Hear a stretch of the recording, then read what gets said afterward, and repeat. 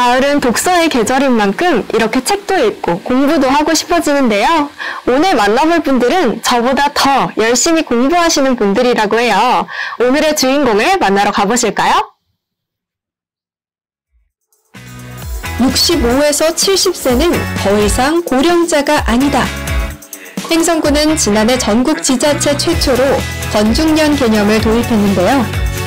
65세에서 70세를 활발하게 일하는 생산 가능 인구이자 여가, 문화생활, 봉사 등 다양한 사회 활동을 통해 활기찬 삶을 열어가는 세대로 인식하도록 변화를 만들어가기 위한 노력이었습니다. 또 이와 함께 본격적인 출발을 전 국민에게 알리고 인구 인식 개선에 대한 공감과 관심을 이끌어내기 위해 건중년 실천 선포식도 가졌는데요. 이 가운데 올해 본격적인 시도가 시작됐습니다. 건중년을 적극 지원하기 위한 건중년 액티브 플러스 학교가 활짝 문을 연 건데요. 건중년 액티브 플러스 학교. 이 이름처럼 건중년들이 지역사회에서 더 활기차고 다채로운 일상을 누리도록 마련된 프로그램입니다. 최근 건중년의 관심사를 반영하는 것은 물론 새롭게 배워 경제 활동이나 여가 활동에 활용할 수 있도록 프로그램을 구상했는데요. 지난 8월 바리스타 양성 과정과 제과 제빵 과정을 운영해 호평을 받은 데 이어 두 번째 시간입니다. 이번에는 요즘 각광받고 있는 정원 가드닝을 배워볼 수 있도록 우리 동네 마을 정원사 과정과 건강에 대한 관심이 높은 만큼 트렌드를 반영해 약용식물 관리사 과정을 마련했는데요. 건중년 이 사업은 특히 횡성군에서 특색 사업으로서 건중년 플러스 액티브 학교 실시 사업인데요. 평생 교육원에서 위탁받아서 현재 실시하고 있습니다. 지금 제1기 때는 제과 제빵 과정하고 바리스타 과정이 시작되었고 제 2기에는 마을 정원사와 약용식물 자원 관리사 이 두 개의 과정을 실시하고 있습니다.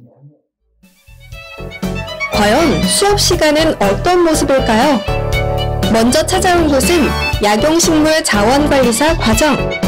오늘은 특히 관심 높은 실습 수업이 진행된다고 하는데요.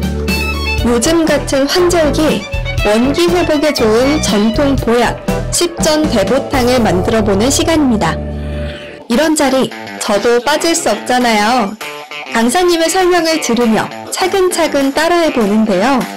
인삼, 당귀, 천분, 황기 등등 몸에 좋은 10가지 한약재가 들어가는 식전 대보탕. 다양한 약재의 특징과 효능을 들으며 하나씩 살펴보니 벌써부터 활력이 뿜뿜!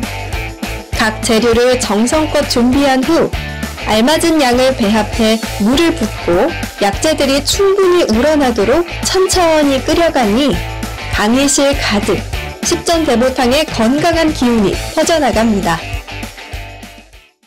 아, 제가 그 송호대학교 복지건강융합과 1학년 2학기 학부생이에요.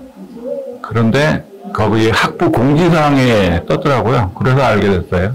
제가 복지건강융합과에서 이제 1학년 1학기 마쳤고 2학기 중에 있는데 약용식물 자원관리사 과정에서 우리 주변에 있는 약용장 식물에 관해서 많이 배웠는데 배워가지고 제가 써먹을 데가 없으면 안 좋잖아요. 그래서 일단은 제 개인 건강을 챙겨야 가족도 챙겨요.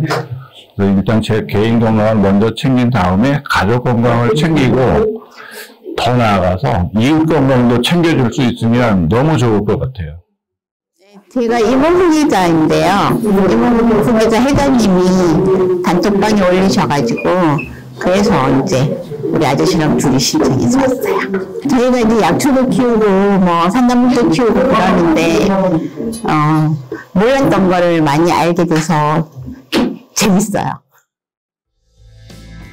같은 시간 다른 강의실에서는 우리 동네 마을 정원사 강의가 한창인데요.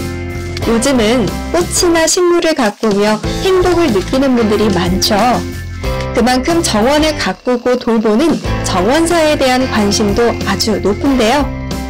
전문 가드너를 양성하고 생활 속 정원 문화를 확산하기 위해 이번 프로그램이 마련된 겁니다. 이번 수업에서는 정원 관리에 있어 실질적인 기술들을 익히는 기회를 가졌습니다. 그동안 경험하지 못했던 새로운 지식과 기술을 습득하고 자신의 역량을 한층 더 강화해 나갈 수 있도록 마련된 소중한 배움의 장. 건중년 액티브 플러스 학교. 이번 프로그램을 통해 더 많은 건중년들이 일상의 새로운 활력을 불어넣는 것은 물론 우리 사회에서 보다 다채로운 역할을 수행하며 보람을 느낄 수 있기를 바랍니다. 건중년 여러분, 모두 모두 힘내세요. 파이팅!